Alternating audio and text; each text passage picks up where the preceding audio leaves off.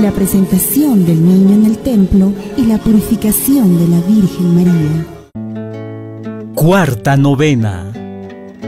Un pedido por la paz y la unidad. Durante esta novena esperemos que la estabilidad llegue al país, que a su vez es un clamor que se hace desde varios sectores. Que haya mucha paz y salud para todos los niños de acá, que calme ya este clima de incertidumbre. Para este efecto, el párroco de la parroquia San Juan pidió a la Santísima Virgen María de la Candelaria por cada uno de los feligreses y derrame grandes bendiciones, siendo el único pedido durante este tiempo de inestabilidad. Pidámosle, queridos hermanos, a la Santísima Virgen de la Candelaria por cada uno y de nosotros que estamos acá en su casa, en su santuario, para que la Santísima Virgen María derrame grandes bendiciones en cada uno y de ustedes.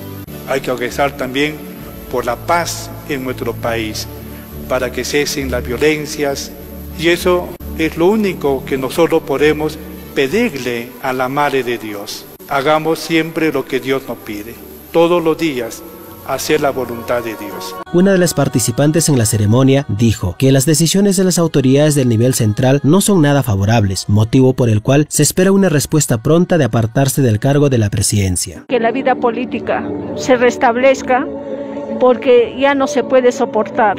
El ser humano no ha, no ha vivido para, para estar matándose, ya no podemos soportar el pueblo por favor, que, con el corazón de Inat Baluarte deje el cargo. No tenemos que apoderarnos del poder. Siembra a María en tu corazón y cosecharás a Jesús en tu vida.